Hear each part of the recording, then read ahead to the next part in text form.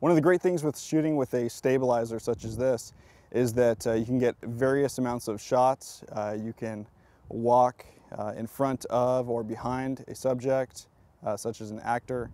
Um, you can walk where um, trees or objects are um, passing by the subject and are in front of you, the foreground and background, and just makes the shots look amazing. So we're actually gonna run some exercises right now to demonstrate that. All right, in this segment, we're gonna do a standard follow. Um, we're gonna start off just by um, walking forward with the camera facing forward and following the subject.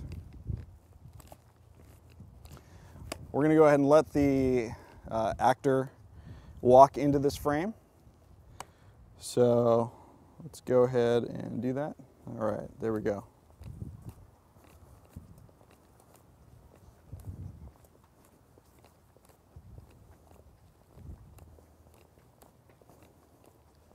Okay, great, great.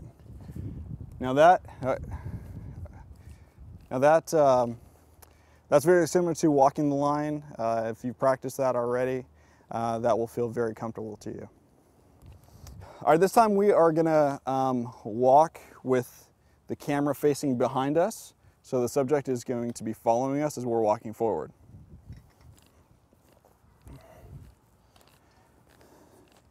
For this shot, I'm gonna focus on the subject first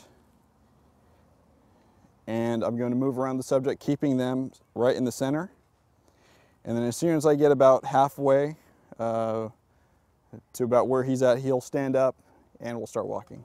All right, let's go. There we go. Now we're in our position. We can hold this line.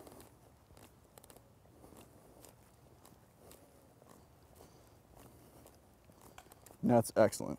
Great. So we're going to demonstrate a few different shots right now. Um, we're going to show how this system can uh, be used like a tripod where you can come right in and, and focus on a subject, stop on a dime. And it's all basically used with feathering and controlling your, uh, your, your arm hand and feathering with your uh, grip hand, in this case my right hand. In this scene we're going to show uh, how we can uh, boom up on the subject and then do a pass and walking follow. So in this case, we can walk into the scene and establish the actor.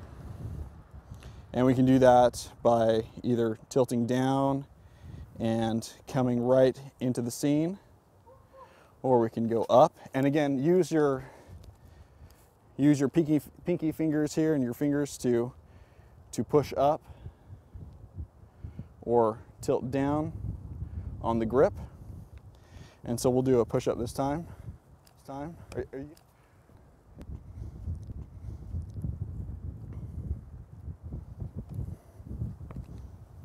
So to drop right into the subject. There. So what we're going to do now is uh, just walk right in and hold on the subject as if we were a tripod and a boom and then we'll start walking as soon as he stands up.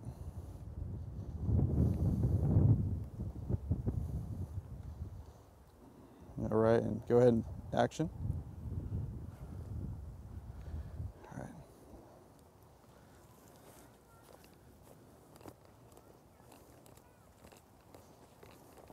And we can speed up here to follow in front or let them pass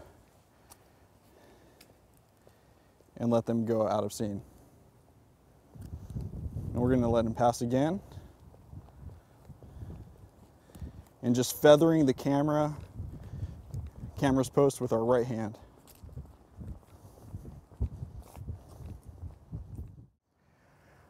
All right, this time try zooming in a little more. Um, this is a harder shot, so uh, practice uh, you know, walking the line first and, and, and also concentrate on your framing. This shot is, is really framing sensitive. If I move just a little bit, uh, either with the fore or aft or the side to side, uh, I'm gonna miss the shot completely. So um, take your time to practice the, the other exercises first and then give this a shot. Dave, let's go. All right, Dave, let's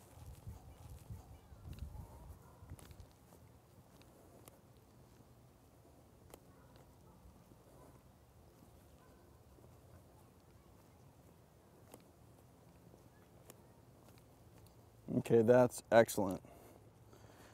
So this shot allows you to have incredible foreground and background movement. Um, so take your time and uh, try that out.